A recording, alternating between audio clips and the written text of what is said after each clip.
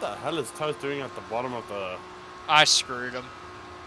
And then I found 95's arse end as well, and... See, that, that corner cut you just got, Liam, that's how I screwed Toast on the first lap on that.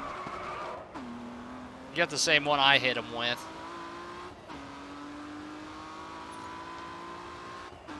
Oh, there you are, Toast.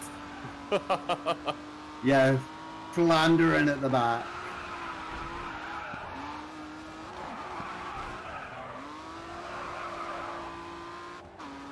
Watch out for Twix.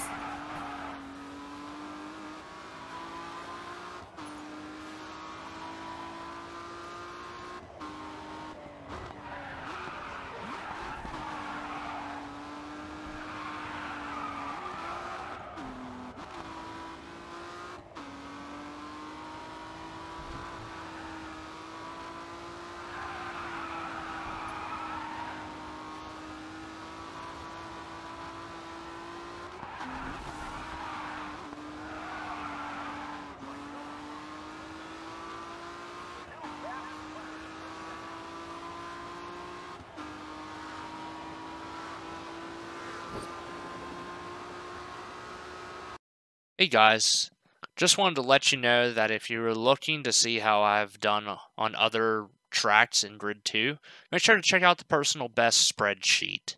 Depending on where you're watching this video from, the link can be found like this. On YouTube, it can be found in the video description of any video that you watch uh, by clicking the see more thing, and then there's the link kind of towards the bottom of the video. On Twitch, you can type exclamation point PB in my Twitch chat to get the link. Or you can find it on the main Twitch channel and just scroll down to the bottom where the panels section is of the page. And then there's the link. When you get to the spreadsheet, you're going to start off on this screen, unless I change it, of course, later on. At the bottom, you have the option of selecting which race type you want to see. One tip I want to tell you though, when you go into one of these sheets, make sure you adjust the zoom control level, which can be found right here. Now you can choose between preset numbers or you can actually type in a custom zoom percentage. For example, I found out 84% works really well for uh, 1920 by 1080p screens.